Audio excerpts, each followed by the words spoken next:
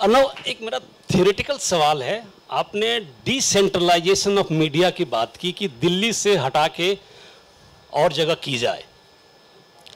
मेरा मानना है कि मीडिया सरवाइव दिल्ली से ही करेगा।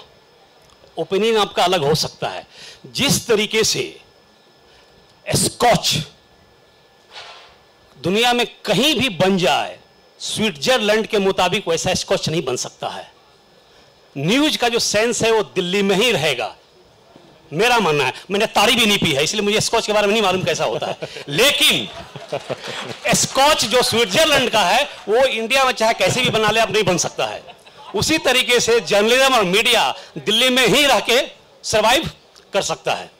ही मीन स्कॉटलैंड हाँ स्कॉटलैंड स्कॉटलैंड आप शायद आप शायद चॉकलेट्स के बारे में बोल रहे हैं। मगर अनिल जी ये आपका व्यू है, ये मेरा व्यू मैं नहीं कह रहा कि दिल्ली से आप हटा दीजिए, मैं कह रहा हूँ आप दिल्ली में फोकस मत करिए। सारी दिल, सारी देश की मीडिया नोएडा से ऑपरेट नहीं कर सकते, मैं नोएडा में बैठ के आपको कह रहा हूँ। ये देश के लिए अच्छा नहीं है। और दूसरी बात, जो मैं आपको अपने, मेरी जो एक्सपीरियंस है, मैं आपको कहना चाहता हूँ कि आपको भी पता है अनिल जी कि मैंने इधर दस साल रिपोर्टिंग की है। धक्के खाए मैंने भी इधर।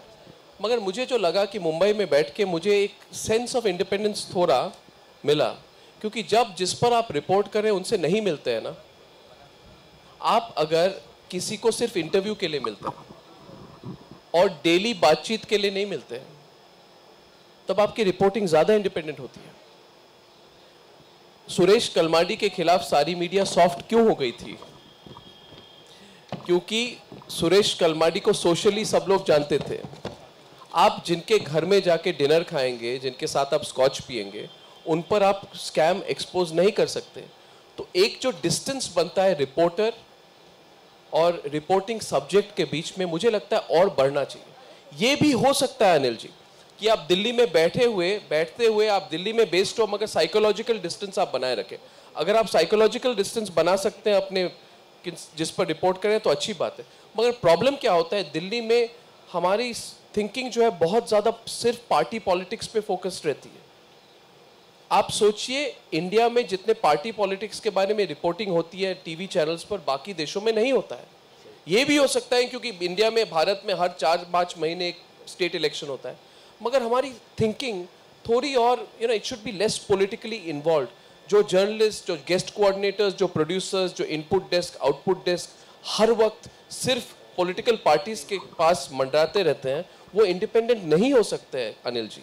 उनको आप कोशिश कीजिए, मैं आपको कहता हूँ, आप मेरे साथ, मैं ये नहीं कह रहा कि मैं आपको इधर बी से ले जा रहा हूँ, मगर मैं आपको ऑफ़र करता हूँ, आप मेरे साथ छः महीने मुंबई में रहिए, आप मेरे डेस्क में काम कीजिए, मैं फिर आप, अनुराधा डोंट माइंड बट आप आप देखेंगे आपकी thinking you know you will feel a little more free because you will not meet the same people every day and you won't, you will realize that there is a world outside of this also.